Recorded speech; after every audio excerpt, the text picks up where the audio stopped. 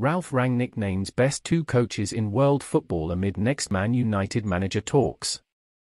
Rangnick is set to be replaced in the Manchester United hot seat at Old Trafford at the end of the season with several names in the frame, but he has admiration for two unattainable targets. Ralf Rangnick feels Manchester United need not look far for an example they can follow to get themselves back to the summit of English football over the next two years. The German coach is currently keeping the seat warm at Old Trafford as United Chiefs deliberate over their next permanent managerial appointment. PSG boss Mauricio Pochettino and Ajax's Erik ten Hag continue to be considered as the leading candidates on a shortlist of successors for Rangnick, who will move into a two-year consultancy role in June. Already Rangnick has one eye on the future beyond the end of this season, and outlined to reporters at a press conference on Friday how United must mirror the project at Manchester City to make themselves a force again. So it was little surprise he overlooked the likes of Pochettino and Ten Hag in naming City's Pep Guardiola and Liverpool boss Jurgen Klopp as the best coaches in world football, while also revealing he has been part of initial talks regarding the next United manager. Asked whether a new manager would be able to give United a new identity, Rangnick replied, I don't know.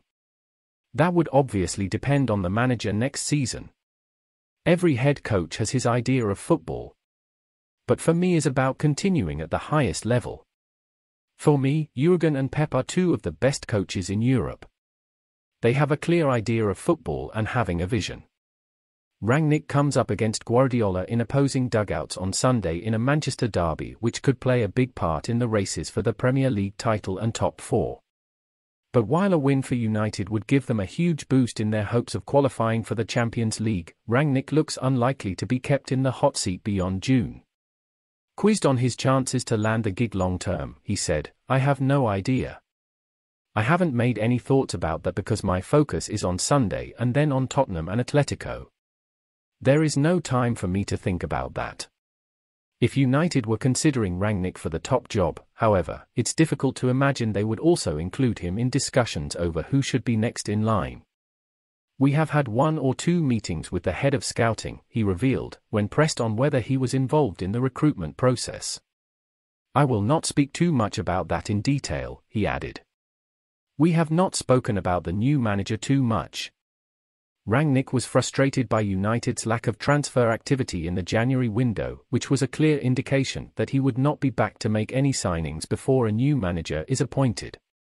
He admitted at Friday's press conference that he had not held any discussions over potential new additions and stated clearly his focus was on doing his best for the team until the end of the campaign. But whilst commenting on City's impressive progress, Rangnick conceded their rivals' model is one United must aim to follow if they are to get back on a level playing field. For the past five or six years, they have had a very good and clear identity, he explained. Pep has a clear idea of how he wants to play. This idea is the headline for everything that happens at the club recruitment, players they will sign or who they may sell. This is the secret of their success and their guideline for everything that they do. That is for the players and other staff.